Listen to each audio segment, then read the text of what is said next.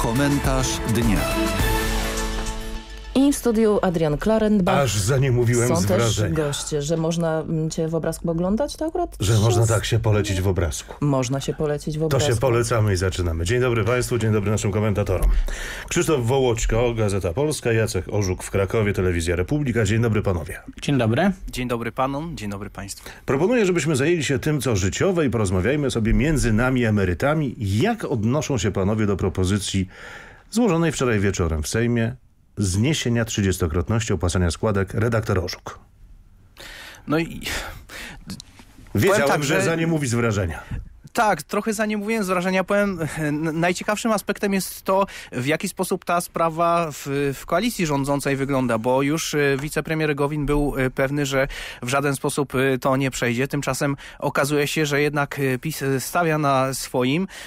Przy okazji głupio, przy okazji robiąc trochę być może błazna z lewicy, bo nie będzie lewica oponować tutaj, tak? Bo gdyby oponowała lewica w tym projekcie, no to pokazałaby, że nie jest e, socjalistyczna, tak? E, Wystarczająco, m, więc t- tylko i wyłącznie dlatego, żeby nie głosować z PiSem. A jak będzie głosować z PiSem, to znowu będzie narażona na, m, e, na takie docinki, że jest koalicjantem To co, powinienem Prawa i Sprawiedliwości. od razu pytanie, co zrobi lewica, czy nie? Myślę, że e, le- lewica s, s, poprze, ale, ale będzie miała jakieś ale do tego projektu, że za mało, że, że, Z panem posłem powinny... Kulaskiem rozmawiałem dziś w programie Minęła Ósma na antenie TVP Info i pan poseł Kulasek mówi, że on w swoim imieniu, jako Sojusz Lewicy Demokratycznej i poseł, on jest za, ale nie wie, co zrobi cała formacja. No to jest test dla, dla lewicy, z której strony będzie ona krytykowana po tym jednym z pierwszych głosowań e, w nowym Sejmie. Redaktor Wołoczko. No Jeszcze utrzymując się przy tak dość żartobliwej e, stylistyce e, rozmowy, no troszkę jest tak, że szykuje nam się nowy centrolew z PiSem i SLD w roli, w roli głównej. Tym bardziej, że pani poseł Magdalena Biejat została Zosta- dziś szefową- przewodniczącą Sejmowej Komisji Polityki Społecznej i Rodziny. Co strasznie zirytowało posłów i posłanki e, Konfederacji i tu pojawi... Tam są chyba sami Albo posłowie. samych posłów. O, chciałem być bardzo poprawny politycznie Posłanki nie... się nie dostały, one nie były wyszło. hipotetycznie kandydatkami. E, ale rzecz przedstawia się, to, to 30-krotnie, e, 30-krotne e, wysokość składki emerytalnej to jest na pewno kość e, niezgody dla bardziej e, liberalnej gospodarczo części e, części tej koalicji Zjednoczonej, Zjednoczonej Prawicy.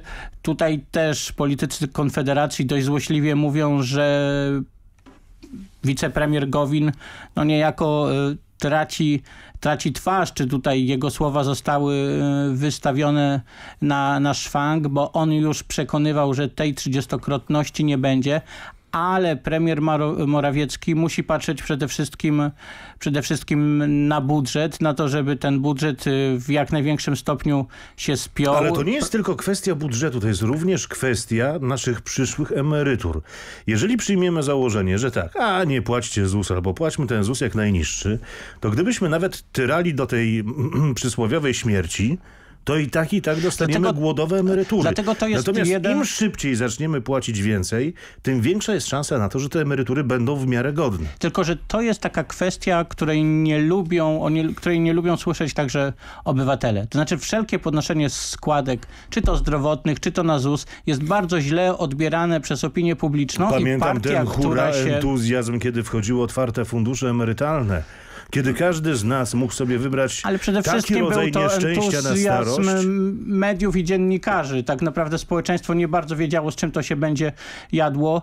A i tak, tak Profesor trzeba Leokadia Oręziak twierdziła, że jest to najgorszy z możliwych y, modeli, z którego prędzej czy później państwo musiało się wycofać. Zrobił to rząd Tuska ze swoją szkodą. Ja uważam, że z pożytkiem dla całego, y, dla całego systemu i dla przyszłych y, emerytur, z, a ze stratą dla, dla wielkiego biznesu, który tak naprawdę miał zarabiać na naszych No i ci, emeryturach. którzy mieli zarobić, zarobili, a co do naszych potencjalnych, hipotetycznych przyszłych emerytur, też tego OFE guzik wyszedł.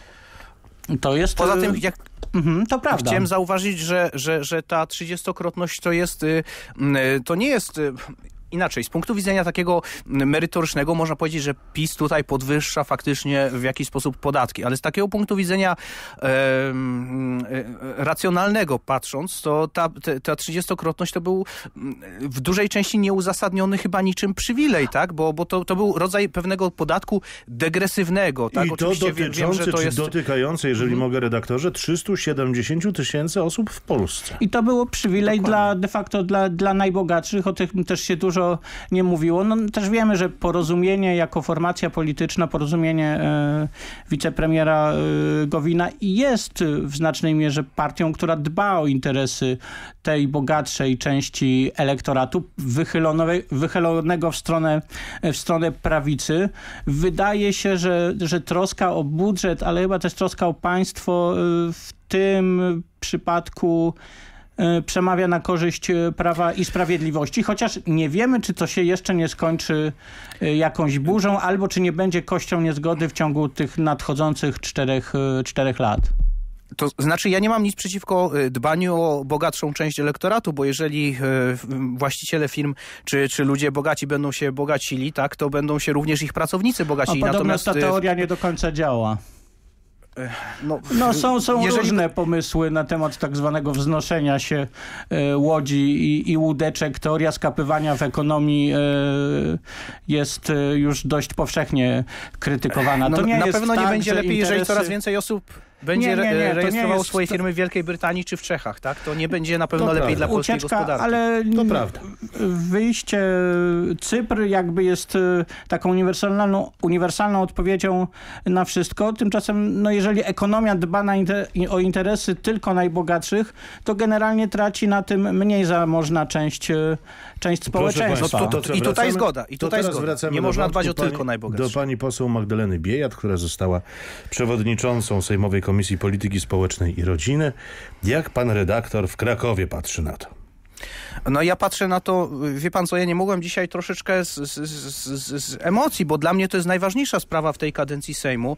Y, oczywiście można powiedzieć, że PiS sobie gra w kotka i myszkę i wszyscy znam ci, co się znają na polityce, to widzą tę grę i się orientują, o co tutaj chodzi. Przewodniczący to nie jest jakaś bardzo ważna funkcja, ma bardzo e, małe kompetencje przewodniczący komisji i jeszcze pi dla PiSu będzie to wygodnie, bo zrzuci winę za jakąkolwiek obstrukcję w tym społecznym projekcie Stop Aborcji na e, radykalną lewicę, czyli tutaj e, czytaj Partia Razem, tak? Natomiast to jest bardzo brzydka gra, bardzo mi się nie, to nie podoba, e, dlatego, że PiS kłam, okłamał swoich wyborców w stosunku do 2014 roku, do programu z 2014 roku o którym y, przypomniał we wczorajszym oświadczeniu arcybiskup Stanisław Gondecki.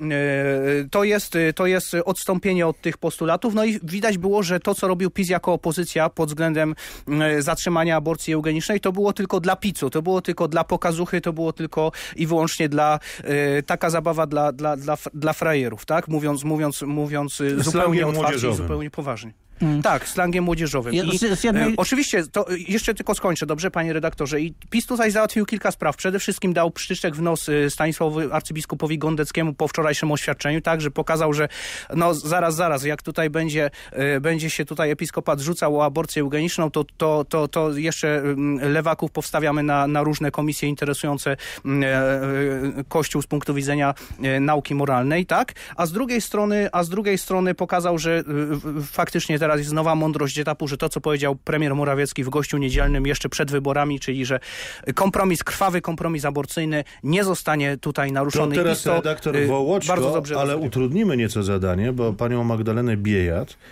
która reprezentuje razem ale jednak lewicę, Kojarzymy bądź co bądź, e, połączymy z działaniami Parlamentu Europejskiego i z działaniami Roberta Biedronia, szefa który Wiosny, jest... który jest współautorem rezolucji potępiającej Polskę za to, że chce wprowadzić działania ukrócające w jakikolwiek sposób pedofilię i nakłanianie do niej.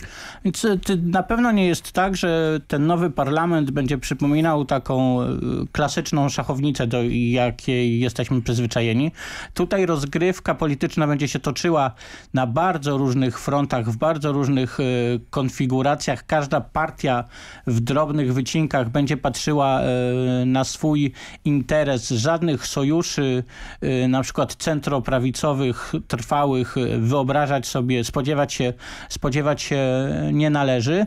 Myślę, że każda z tych partii ma bardzo różne swoje, swoje interesy. Także w, widać to także w obrębie tej, tej, tej lewicowej formacji. Zresztą zabawne było bardzo zdjęcie, zdjęcie, które Krzysztof Śmieszek zamieścił na Twitterze całego, całej tego klubu SLD z prezydentem, byłym prezydentem Aleksandrem Kwaśniewskim, gdzie gdzieś z tyłu za plecami ukryli się tak, żeby prawie ich nie było widać posłowie Zandberg y, i konieczni, y, konieczny, no jednak kojarzeni przede wszystkim właśnie z Razem i spinając Z całym szacunkiem, to... ale Zandbergowi to się trudno ukryć ale zrobił to tak, że go prawie, prawie, prawie nie widać. Myślę, że to, co do posła Brauna i posłanki Biejat, no, troszkę jest tak, że z jednej strony rozumiem, że Komisja y, Polityki Społecznej i Rodziny zajmuje się także sprawą, y, sprawą aborcji i to będzie y, budziło ogromne konsekwencje. Z drugiej zajmuje się całą masą kwestii, kwestii społecznych, które także są ważne i tutaj może ktoś powiedzieć, że posłanka lewicy jest w sposób naturalny, niejako predestynowana, żeby się nimi zajmować. Poseł Braun kompletnie nie kojarzył mi się jako ktoś kompetentny w sprawach polityki, yy, polityki społecznej. Więc albo należałoby rozdzielić te, te komisje, osobno politykę społeczną, osobno yy, rodziny, co chyba się nie uda jakby w tej koncepcji socjalkonserwatyzmu, który, który proponuje Prawo i Sprawiedliwość. Hmm, no właśnie, albo będziemy świadkami dość ostrych, dość ostrych sporów. Ktoś może zapytać, czy w tym momencie kwestia aborcji jest najważniejszą e, w Polsce, jest najważniejszą w Polsce tematem społecznym. No, na pewno jest ważniejsza niż milion elektronicznych czy elektrycznych samochodów. To zdecydowanie jest dużo ważniejsza, a tutaj jednak akcent jest przenoszony na, na tę stronę już od kilku lat. I stało się też, też płaszczyzną ideologicznego sporu, czy też konfliktu, czy nawet w pewnym sensie płaszczyzną jakichkolwiek rozmów do zawierania koalicji europejskiej. Przypomnę, to też jeden z tematów, który już poruszał nowo wybrany marszałek Senatu profesor Grocki. Panowie, dziś prezydent wskazał Mateusza Morawieckiego jako tę osobę, która będzie tworzyła rząd. Jutro zaprzysiężenie gabinetu. Tu chyba nie ma większych, e, nie ma większych e, niespodzianek. Natomiast e, co do tego, czy ten rząd, rząd premiera Morawieckiego jest bardziej technokratyczny yy, niż rząd premier Baty Szydło. Myślę, że tak naprawdę oczekiwanie, że Prawo i Sprawiedliwość będzie partią ultrakonserwatywną jest jakąś yy, albo pewnym złudzeniem, którą często roztacza część posłów i posłanek tej, tej partii, mm, albo myśleniem, myśleniem życzeniowym. No jednak e, Jarosław Kaczyński wyrósł, czy był liderem porozumienia Centrum, partii, która starała się mm, znaleźć gdzieś między środowiskami bardziej liberalnymi, a ultra e, konserwatywnymi i nie ma tutaj co liczyć liczyć na to, że to będzie partia, która opowie się za radykalną zmianą e, na prawo w kwestii tego, co się nazywa kompromisem aborcyjnym. E, ja nie, nie, liczyłem na e, jakąś, jakiś radykalny konserwatyzm, bo to, to nigdy nie było zapowiadane, natomiast liczyłem chociażby na to, co było w, w programie Prawa i Sprawiedliwości, do czego odwołał się także arcybiskup Gondecki. Natomiast wydaje mi się, że to jest bardzo przykre w pewnym, w pewnym sensie, bo mm, wydaje się y, z tych ruchów politycznych, y, z kandydatem był, był tutaj Grzegorz Braun na stanowisko komisji, y, przewodniczącego komisji. Wydaje się, że dla PiSu największym wrogiem jest Konfederacja. To jest zdecydowanie wbrew intuicji 70, jeśli nie 80% wyborców Prawa i Sprawiedliwości. O, ja wiem, pan że... nie wie na 100%, to już jest projekcja. Nie wiem tego na 100%, ale ja wiem, ja, ja nie wiem tego na 100%, ale, ale wiem wiem to z dużą dawką, że tak powiem, e, z dużą dawką racjonalnego uzasadnienia, tak bym to powiedział.